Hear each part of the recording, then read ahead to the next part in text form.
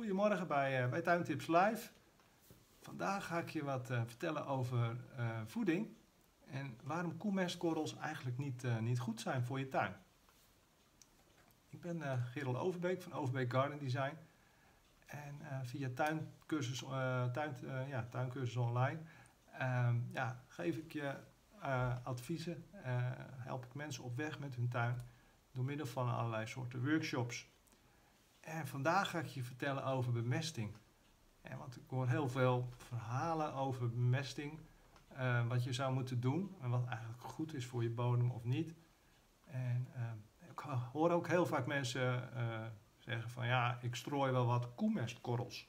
want koemest, daar zit alles in en koeien zijn er genoeg. Dus zo recyclen we een stukje van de koemest. Maar wist je dat er ook heel veel nadelen aan zitten? En dat die koemest eigenlijk niet zo goed is. Um, de bodem kan je het beste voeden met organisch materiaal. Nou, uh, koemest is natuurlijk in feite uh, van gras, wat koeien eten. En, uh, en dat is dan half verteerd en dus de mest. En, en ze eten natuurlijk ook wat stro en dergelijke. Dus dat is in feite wel organisch materiaal. Er zit wat stikstof, wat fosfor en wat kalium in. Uh, dus da daar zitten eigenlijk alle elementen wel zo'n beetje in. Maar waarom is het dan niet goed? Uh, omdat er eigenlijk in de, in de veeteelt uh, wordt eigenlijk heel veel voeding toegevoegd. we hebben bijvoorbeeld soja, wat misschien uit Zuid-Amerika komt. Hè, krijgen koeien bijgevoerd.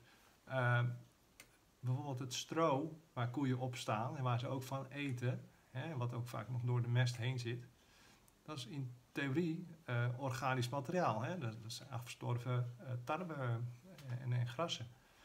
Maar als die uh, grassen, hè, die, die, die, die basis van het stro, als die worden bespoten met allerlei bestrijdingsmiddelen, allerlei groeiremmiddelen, onkruidbestrijdingsmiddelen, middelen om, om, insecten en beestjes te bestrijden uh, en andere manipulatie van het gewas. Ja, dat komt dus indirect ook in die koemest terecht. Uh, en zo zijn er ja, bijvoorbeeld groeihormonen.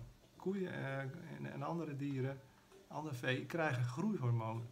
En dat heeft ook uiteindelijk weer effect op je planten. Dus als je de natuurlijke kringloop wilt stimuleren, dan is koemest niet de beste optie. Uh, de beste optie is in feite uh, zorgen dat je uh, je eigen compost maakt. Ehm, dat je ervoor zorgt dat de natuurlijke kringloop in stand blijft. dus laat blad zoveel mogelijk liggen. laat allerlei plantenresten, laat die gewoon verteren. En um, ja, laat dus nood hout en takjes in een hoekje liggen. dat verteert uiteindelijk ook. En als je zeg maar een, goede kringloop hebt, dan heb je bacteriën en schimmels, allerlei en wormen en allerlei andere beestjes die zorgen dat het allemaal omgezet wordt. En in feite voed je met die organische uh, stof, hè, of met die, met die ja, rest, reststoffen van, van planten, zal ik maar zeggen, daar voed je in, in feite de bodem mee. Maar dat gaat niet zo snel. Kijk, en zeker als je dus uh, ja, een nieuwe aanplant doet, hè, of de tuin is nieuw aangelegd, nou, dan moet dat allemaal nog een beetje op gang komen.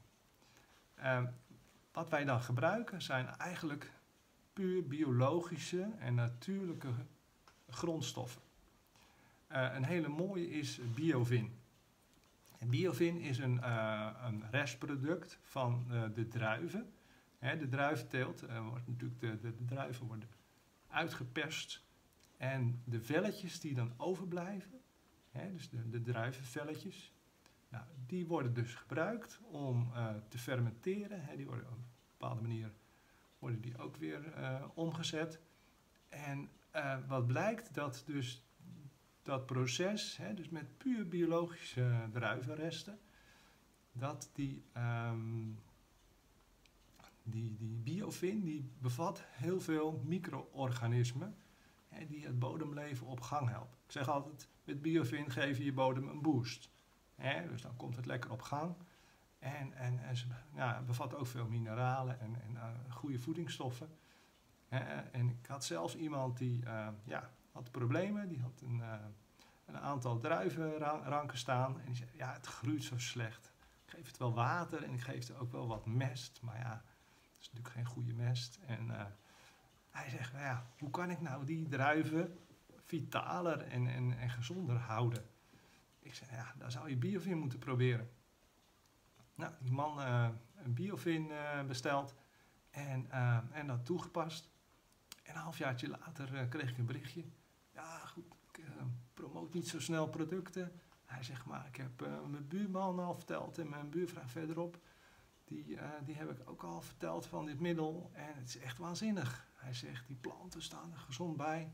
Groeit goed, mooie druiven. dus ja, dat werkt, werkt prima. En ja, ik zie dat ook op andere plekken in de tuin. Uh, ja, als planten echt moeilijk hebben of een tekort, uh, geef, ik ze, geef ik ze biofin. Een andere mooie mest is Fabomix. In Fabomix heb je ook een speciale najaarsmest. die najaarsmest is echt voor de wortelvorming. Het bestaat ook uit die natuurlijke grondstoffen. dus niet koemest of paardenmest of kippenmest. Maar allerlei ja, uh, onfrisse dingen meegedaan zijn, zeg maar. en ja, aan die korrel kan je dat niet zien, wat er eerder in het proces gebeurd is. Maar dat gebeurt helaas wel. Um, maar Fabomix is ook een, meststof die, um, ja, die dus ook een speciale najaarsmest heeft. En daar heb je een hoge fosfor- en kaliumgehalte. Uh, bevat ook magnesium. En dat is vooral goed voor de wortelvorm. Want in de nazomer en het najaar uh, dan is de grond opgewarmd hè, na het seizoen. En dan is de activiteit in de bodem relatief hoog. En uh, ja, is het belangrijk om dus je wortelgroei te stimuleren. En dan moet je geen stikstof geven. Hè, want stikstof, heel veel meststof en zeker ook kunstmest, bevat altijd stikstof om de groei op te jagen. En, maar je wil nu geen snelle groei meer hebben. Want de planten moeten nu in rust gaan hè, voor de winter. Dus we willen geen bovengrondse groei meer hebben. We willen dat de wortels goed groeien hè, en dat je dus het bodemleven stimuleert. Ja, je zegt, waarom moet ik nou steeds dat bodemleven stimuleren? Nou, het bodemleven zorgt er namelijk voor dat je planten uh, de juiste voedingsstoffen binnenkrijgen. Hè, uh, vooral bacteriën en schimmels, die, die wisselen allerlei uh, stoffen uit die brengen ze bij de plantenwortel. En de plantenwortel geeft in ruil eh, wat suikers. En, uh, maar die, uh, dat bodemleven zorgt er ook voor dat uh, je planten antistoffen krijgen. Eh, dus krijgen eigenlijk meer weerstand. want ja, als je een gezonde bodem hebt, kan het bodemleven de, de plant die, die antistoffen leveren.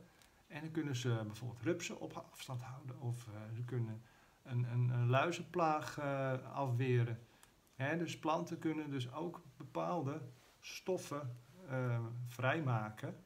Hè, indien ze dus, dus gezond en, en via natuurlijke kringloop dat, dat beschikbaar hebben. Dan kunnen ze dus op een natuurlijke manier gezonder blijven. Zonder dat wij hoeven te spuiten, zonder dat wij als mens hoeven in te grijpen. Als je de natuur zijn gang laat gaan, dan lost in feite elk probleem zich vanzelf weer op. En dat kost tijd. Het gaat niet zo snel. En dat is vaak wat wij mensen wel willen. Wij willen snel een, een oplossing, snel een resultaat. Maar in de natuur moet je daar meer geduld voor hebben. En dan kan het soms wel even duren. Het kan soms wel jaren duren. Maar uiteindelijk zal het zich duurzaam en, en goed oplossen zonder nadelige bijeffecten. En dat is vaak wel, hè? allerlei middeltjes die je gebruikt hebben allerlei nare bijeffecten. En, en, en ja, het komt in, het bodem, in de bodem terecht, in het grondwater. Of het wordt heel lang vastgehouden en heeft dan weer nadelige gevolgen. Dus uh, werk zoveel mogelijk met ja, betrouwbare producten die uh, puur biologisch zijn. En, en ik zeg nog steeds, die kringloop moet je eigenlijk hè, met organisch materiaal uit de tuin zelf kan je die al uh, op gang houden. En dan hoef je in feite niet echt te bemesten. Ik, ik strooi eigenlijk nooit geen mest in mijn tuin. Ik laat wel alles liggen. Nee, dan, dan, dan voed ik in feite het bodemleven. En dan komt die voedingsstof daar vanzelf wel weer uit vrij. Want ja, in een natuurlijk bos, in de jungle, loopt er ook niet iemand met kunstmest rond uh, om de planten voeding te geven. Dat, dat, hè, dat voedt zichzelf. Eh, dus eh, ja, we moeten wat minder ingrijpen en, en wat meer genieten van het groen. Eh, dus ik hoop dat je weer eh, wat, eh, wat leuke tips hebt gegeven en wat inzichten. En ik zie je de volgende keer bij Tuintips Live. Tot dan.